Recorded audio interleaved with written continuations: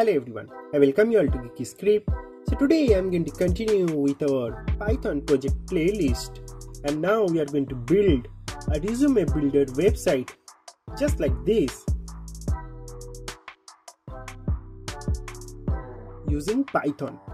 So user will be able to fill all the details that are there right on this form and then on clicking this button it's going to generate a PDF and it's going to look like this. So do watch the video till the end. I can guarantee if you watch the video till the end, you'll be learning a lot of new things. And if you're still facing any issues in middle, you can always ask me on comment sections. And I'm also on Instagram now, so you can also follow me over there and you can ask all of your doubts over there as well. I'm definitely going to help you.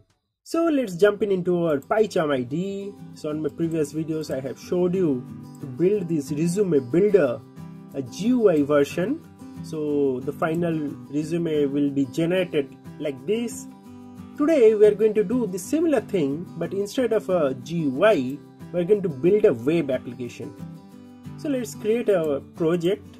So go to file new project and give a project name as resume builder web application web app. So check this uh, create a welcome script and as promised on my previous videos that I'm going to use this lighting first python package manager called UV so uh, so just switch to this custom environment and select UV from here. So if you are first time with UV then you can always watch this detailed video that I have made on UV so that will help you to learn more about UV and you'll be able to see that how lighting first it is. Alright so now just uh, select UV and click on create new window and our project is slightly open so let's install one python package called ReportLab. So uv pip install ReportLab. Hit enter. So you can see how quickly it got installed right in a blazing speed. So similarly also install flask. So pip install flask hit enter. So you can see that how quickly even Flask also got installed right? Now let's wipe out everything that are there and write our own code. So first what I'm going to do is I'm going to create a very simple web application which will have just a couple of text field with username and age. And we are going to capture those user input and we're going to use those user input data to prepare our PDF file. So first we are going to do that and then we are going to prepare a real website. So entire source code I am going to also share with you, don't need to worry. So let's first import our required libraries. So import Flask. So we are going to use request and send file. Alright. Next also import ReportLab pdfgen import canvas. And we'll also need Werkzeug so Werkzeug.utils import secure file name. So we are going to use Werkzeug for sanitizing the file name to avoid any issues. So uh, if you want to learn about Werkzeug you can always you know google and can read their official documentation at this URL alright so let's continue with our project. So now let's initialize our flask app by creating an instance of flask class. So this sets everything for flask that it requires behind the screen to handle routing request and all those stuffs so let's continue. We'll define a route now using app route and let's set the method to get and post. So this basically means when someone goes to the root url so this function is going to handle that request. So it supports both get and post method. Get will be used to show the form and post to process that data. Alright now def index and create a condition to check whether it is a post method or not. So request dot method equal to, equal to post and then we are going to retrieve that user input. So let's get that user input of name field and we'll do the same for age as well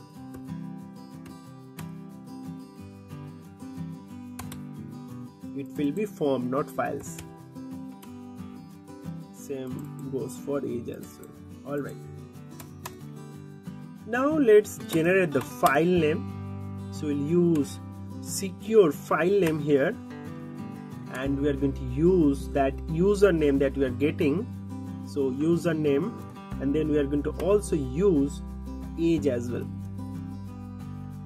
to prepare our file name now let's create our canvas. So see and then initialize our canvas by passing that object f. And now let's draw the stuffs. So draw string.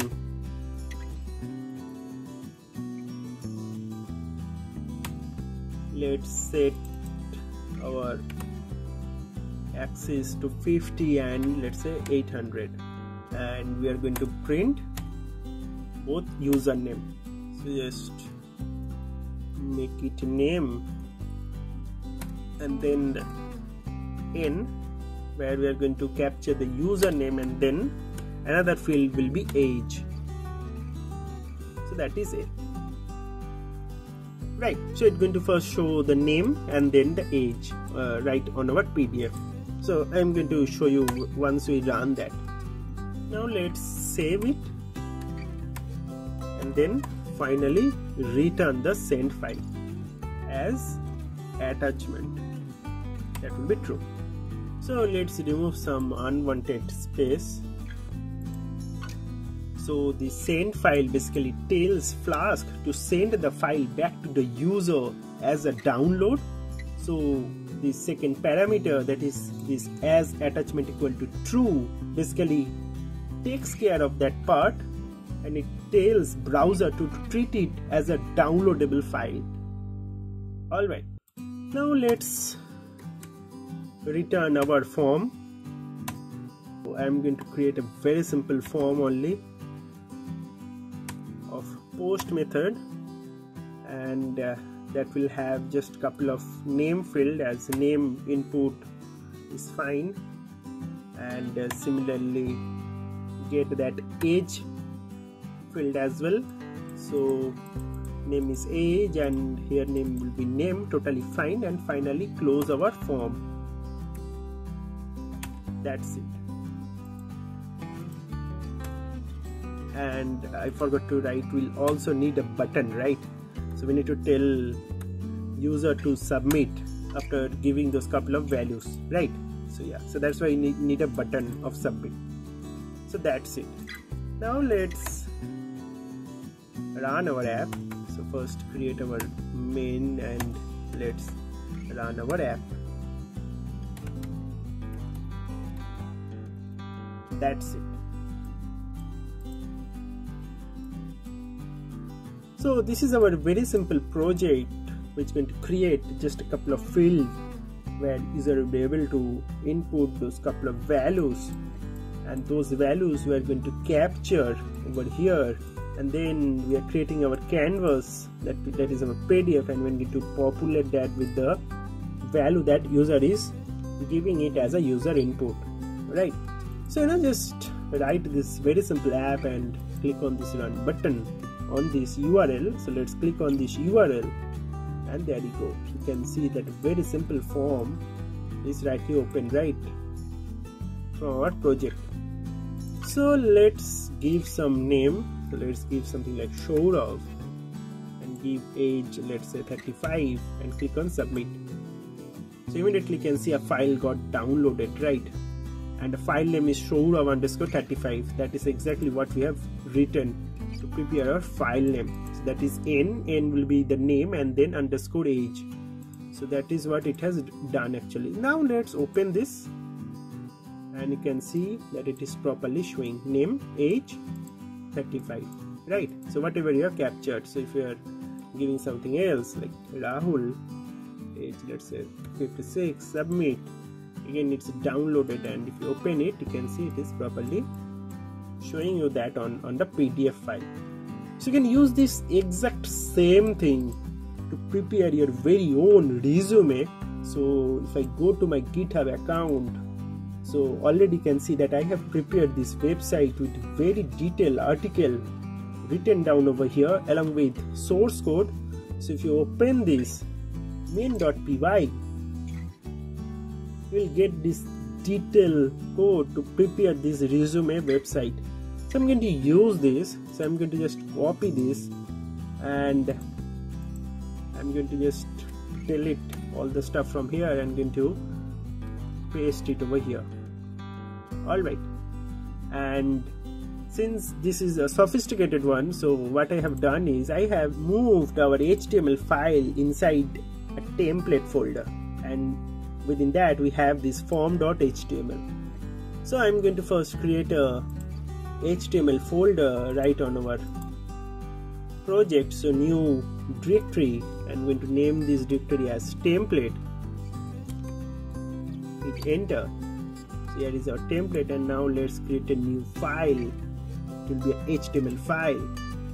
Give this file name as form.html hit enter. So already you can see a sample HTML form with boilerplate is generated right? Now let's copy all the stuff from here. Just paste it down here. All right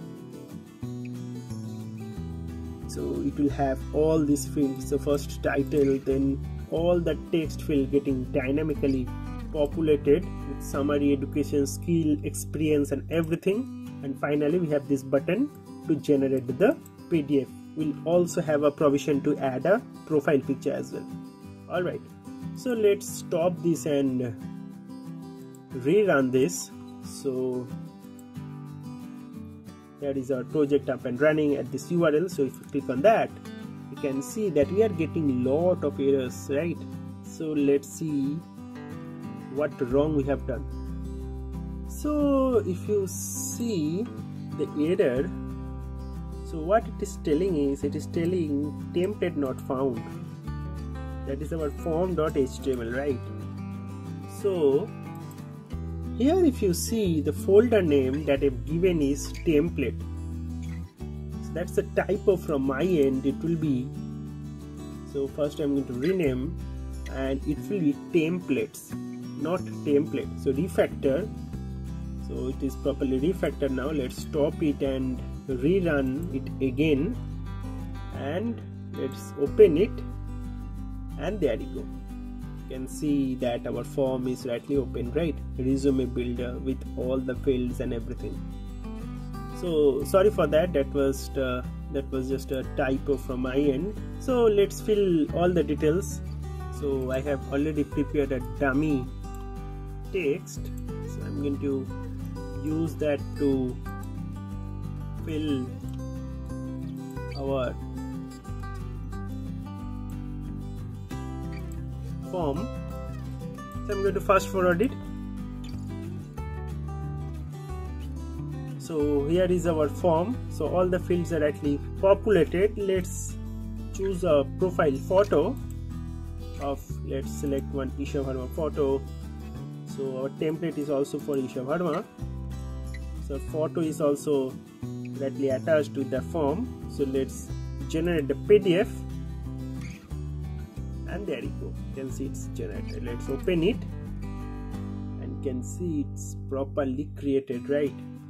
So this resume have basically two panel. One is left and right. So in left we are showing the skills language certificates honors interest and all that. And on the right hand part we are first showing the name with all the contact details and then the profile summary with work experience and education and we also added a footer.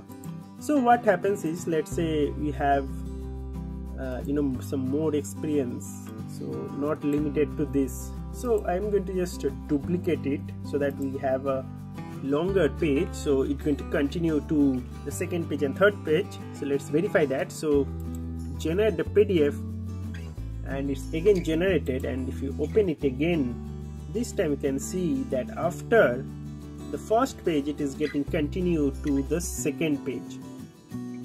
Right and continue till the third page if there is any.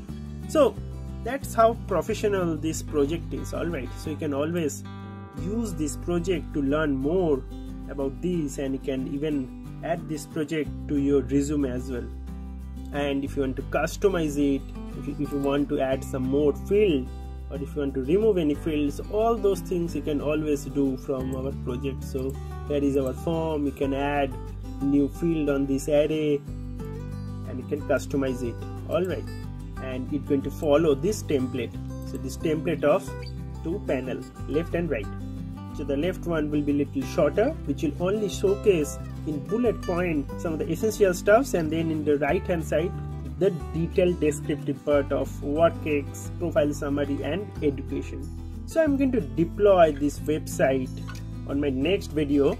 So you'll be able to use this website to generate your resume as well in case if you just want to generate a resume without you know looking into some other tool. So that also you'll be able to do. So i'm going to deploy this entire website into a server on my next video. So that tutorial also i'm going to make and also i'm going to request you please to share with your friends that can to you know really motivate me to make more this similar kind of videos.